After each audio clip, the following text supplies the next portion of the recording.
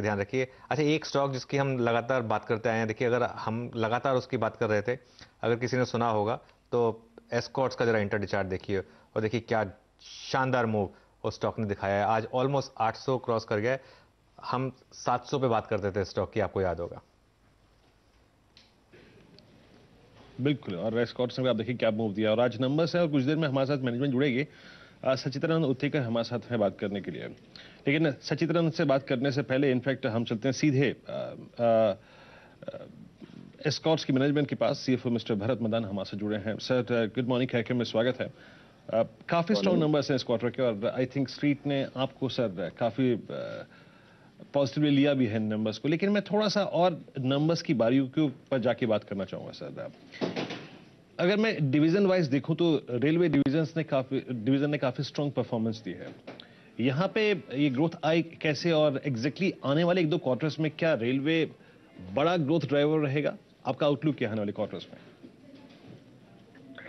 ये अगर आप रेलवे सेगमेंट की बात करें तो पिछले दो तीन साल से अगर आप इनका ग्रोथ मोमेंटम देंगे तो आई हम रफली पच्चीस परसेंट पच्चीस छब्बीस परसेंट की ग्रोथ जो है सी पिछले दो तीन साल से कंटिन्यू है इस बिज़नेस में। और अभी थर्टी फ़र्स्ट दिसंबर की जो बात करें इस क्वार्टर की तो अभी ऑर्डर क्वार्टर एंड हमारे पास आज भी साढ़े चार सौ करोड़ से ऊपर की ऑर्डर बुक है रेलवे बिज़नेस के लिए। और आगे के भी आज स्ट्रॉन्ग आउटलुक है। तो हमें लगता है रेलवे बिज़नेस आई कंटिन्यू करेगा ग्रो करने में। जो भी हमने सी एजिया दिखाई है आई थिंक अगले दो तीन साल में भी पच्चीस परसेंट से की सी एजिया मेंटेन करेगा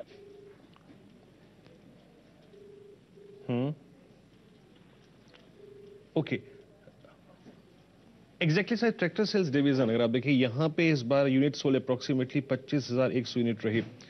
अभी जिस प्रकार का आई मीन रूरल डिमांड है उसको देखते हुए और uh, डिमांड को पिछले दो क्वार्टर्स की देखते हुए, और स्पेशली जब फेस्टिवल सीज़न के दौरान जिस तरह की डिमांड रही, या फिर न्यू ईयर के वक्त आपकी जिस प्रकार की डिमांड रही है ट्रैक्टर डिवीज़न आने वाले दो क्वार्टर्स में आपका आउटलुक क्या है?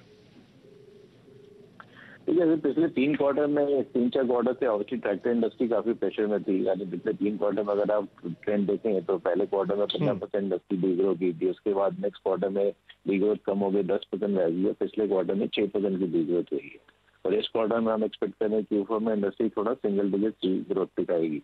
और हमें लगता है कि अगले दो तीन क्वार्टर काफ़ी स्ट्रॉन्ग जाने वाले हैं। आई आगे ग्रोथ अच्छी आनी चाहिए बट पूरे एफ़ आई ट्वेंटी वन की अगर बात करें तो हमें लगता है इंडस्ट्री डेफिनेटली इस लेवल से तो ऊपर ही जाएगी। और पॉजिटिव सिंगल डिजिट ग्रोथ दिखेगा इतने भी low single digit growth but definitely momentum जो है वो बरकरार है और डिमांड आई थिंक आगे रिकवर होगी। एफ़ आई ट्वेंटी टू हमें लगता है कि कुछ अच्छी ग्रोथ दिखाएगा।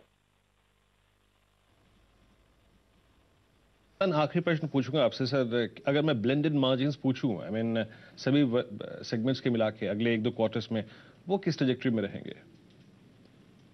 देखिए जैसे इस क्वार्टर में हमने मार्जिन अपने बिडा और ऑपरेटिंग मार्जिन देखे तेरह परसेंट के मार्जिन जो दिए हैं ये पिछले पंद्रह साल में जहाँ तक कि मेरे को ध्यान है कि उससे पिछले company seventy five years old है। तो पीछे का मुझे नहीं पता बट पिछले पंद्रह साल में ये सबसे हाईएस्ट क्वार्टरली अर्निंग है जो हमने रिपोर्ट की है ब्लेंडेड लेवल पे तो हमें लगता है कि आगे जाके भी ये मोमेंटम जो है सस्टेन रहना चाहिए तो अगले क्वार्टर में कोई रीजन नहीं लग रहा बिकॉज़ वॉल्यूम वाइज देखें या मार्जिन वाइज देखें हमें भी ऐसा कोई प्रेशर आता नहीं नज़र आ रहा तो अगले क्वार्टर में भी डेफिनेटली ये अलग सिमिलर मार्जिन प्रोफ़ाइल मेंटेन रहने की उम्मीद है।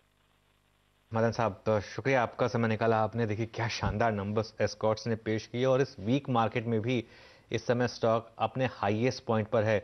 और याद रखिएगा जी हम हमेशा बात करते थे इसकी एस्कॉट्स की वीरेन ने एस्कॉट्स की कॉल भी दिए हैं। हमने फ्यूचर्स में भी इसके इसके बारे में कहा है 720 पर कहा 700 पर तो कहा था।